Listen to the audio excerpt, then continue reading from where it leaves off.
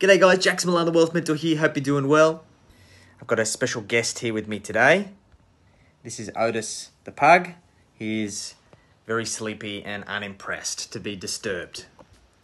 Now, guys, in this video, I wanted to talk around the concept of starting small with investing, trying to create the muscle memory of turning your business profit into personal wealth.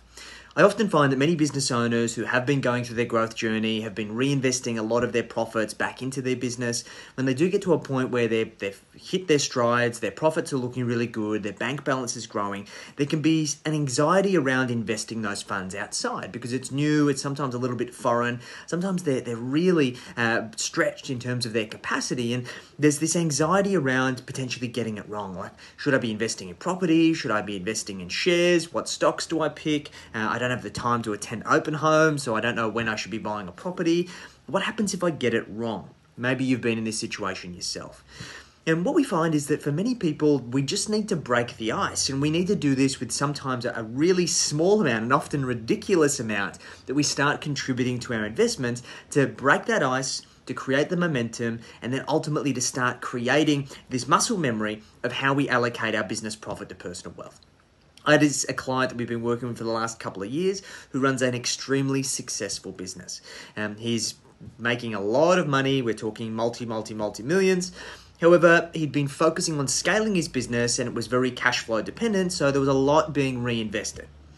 We got to a point where this guy's earning multi million dollars a year in personal income. However, majority of it was going out in lifestyle. The nice house, the nice cars, flying at the pointy end of the plane and there was a lot of anxiety around a couple of things. First anxiety was that he felt like he was falling behind his peers. He had a lot of friends who were very successful financially, had scaled businesses, in many cases not even as big as his, but had been able to amass a lot of wealth.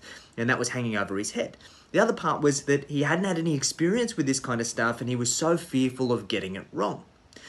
So, what we did is we started extremely small. Somebody that was earning multi million dollars a year in personal income, we started investing with $200 a month. We set up a really basic portfolio. We set up a direct debit from his hub account. And we basically said to him, Do you think that you're going to miss $200 a month? He said, No way.